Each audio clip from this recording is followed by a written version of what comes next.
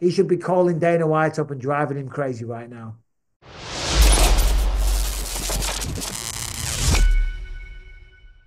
Final one from me.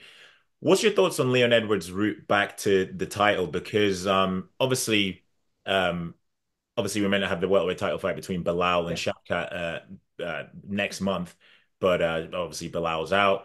Um, yeah. Hearing talk of an interim title, people are chucking Kamaru Usman's name into there, but Leon Edwards is now this forgotten man, despite the fact yeah, that he defended yeah. the belt twice. I mean, what's your thoughts on his route back to a title shot? Yeah, I mean, it's interesting, isn't it? As you say, he's kind of been forgotten about all of a sudden. That's probably because Leon's a quiet guy. He keeps himself to himself. He doesn't do a lot of interviews, and he's not the type of guy to, to go out there and get all crazy and say some outlandish things.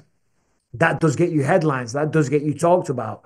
Leon does his talking inside the octagon. Simple as that. It's a shame that this happened so close to the fight.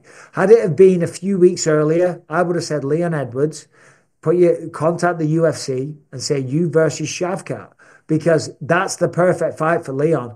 If he beats Shavkat Rakhmonov, all of a sudden he gets a rematch with Belal Muhammad. If he beats Shavkat, who's on an 18 fight win streak, all finishes, you know, and it's a fight that Leon could do very well in. I mean, he just beat Kamaru Usman twice in a row. And of course, he beat Colby as well. But the more impressive one was, st- was stopping Kamaru and then beating him by decision.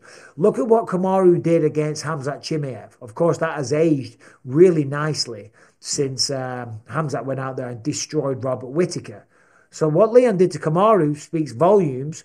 And Leon obviously wants to be the champion again. He's still a young man. I think he's 32. Still got a lot of time left in this sport.